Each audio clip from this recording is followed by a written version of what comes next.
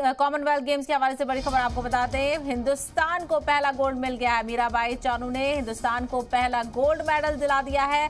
उनचास kilo category में पहला गोल्ड हिंदुस्तान के नाम अब तक हिंदुस्तान को मिल चुके हैं तीन मेडल तो कॉमनवेल्थ गेम्स के दूसरे ही दिन हिंदुस्तान की झोली में तीनों मेडल्स आ चुके हैं सिल्वर ब्रॉन्ज और गोल्ड तो मीराबाई चानू बनी गोल्डन गर्ल जिन्होंने हिंदुस्तान का नाम किया रोशन और हिंदुस्तान के लिए पहला गोल्ड का खाता मीराबाई चानू ने खोल दिया है। तो कॉमनवेल्थ गेम्स में हिंदुस्तान का शानदार आगाज़ हो चुका है। आज कॉमनवेल्थ गेम्स का दूसरा दिन और दूसरे दिन ही हिंदुस्तान की झोली में तीनों मेडल्स आ चुके हैं और तीनों ही मेडल्स वेट लिफ्टिंग में मिले हैं। तो बड़ी खबर आपको बता दें, हिंदुस्तान के लिए खुशी का लम्हा गोल्डन गर्ल बन चुकी है मीराबाई चानू।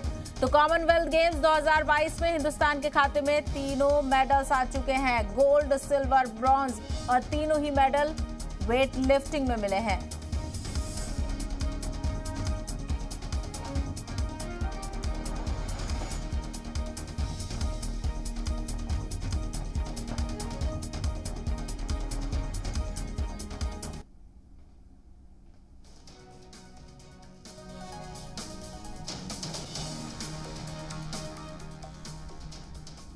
भारत को मिल गया है वो गोल्ड जिसकी दरकार थी और कौन है वो खिलाड़ी जिन्होंने दिलाया? जी हाँ मीरा भाई जानू जिनसे उम्मीद थी कि गोल्ड की। मीरा आपको आदत है?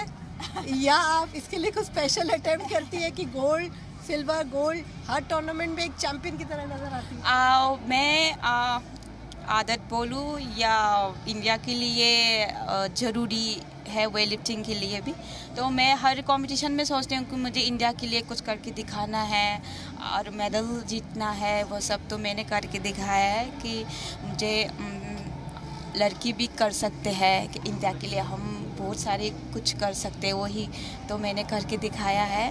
तो वो ये मेरे लिए बहुत ही अच्छा है कि मैंने गोल्ड मेडल लिया और, और रिकॉर्ड भी मैं खुद का जो रिकॉर्ड है वो भी मैंने कवर किया। तो ये हाँ मेरी आदत ही ये आदत जो है कितनी बड़ी भूख है आपकी। आपको दिखाता है वो हंगर है जो टोक्यो के बाद भी लगातार बढ़ रहा है। हाँ हमने आ, टोक्यो की बात ही, हम सोचा था कि हाँ कॉमनवेल्थ गेम्स में ये टोक्यो की बात ही हमारी बड़ा कंपटीशन है। तो हम पहले से प्लान था कि कॉमनवेल्थ गेम्स हम गोल लेना है इंडिया के लिए वेट लिफ्टिंग के लिए भी। और हम आगे का जो भी वर्ल्ड चैम्पियनशिप है एशियन गेम्स है, इसी के लिए हम कॉन्फिडेंस मिलते हैं। तो ये कॉम्पिटिशन मेरे लिए सबसे इम्पोर्टेंट थी कि खुद के ऊपर फाइट करने के।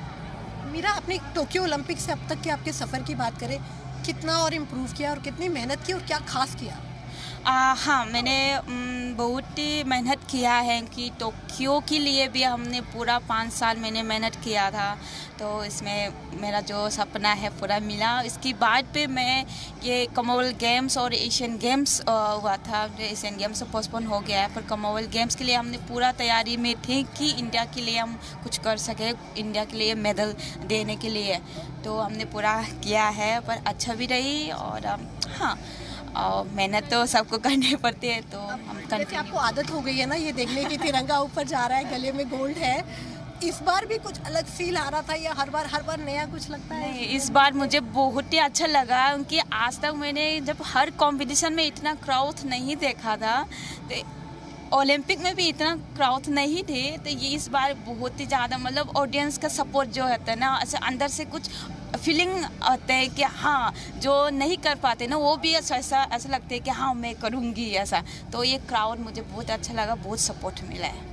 मेरा आखिरी सवाल आप डेडिकेट किसको करेंगी? और ये जो आपने ये पहने ये कब तक पहने रहना चाहती है?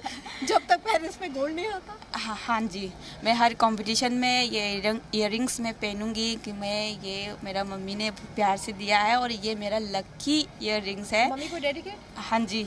मेडल हाँ मेरा फैमिली को और मेरा फेडरेशन मेरा कोच बहुत ही सपोर्ट दिया है उन्होंने। उनकी वजह से मैं हर कंपटीशन में इम्प्रूव मेडल जीत पाई हूँ। बहुत बहुत शुक्रिया और उम्मीद करते हैं आप और भी ऐसे मेडल जीते रहे। तो ये हैं थी हमारे साथ मीराबाई चानू। एक बार फिर जिन्होंने वो करके दिखाया, जिसके जैसे उन्होंने कहा कि उनको आदत ही हो गई है। कैमरा पर्सन शंकर चंद मलिक के साथ किरण चोपड़ा, सी मीडिया, बमिंगम।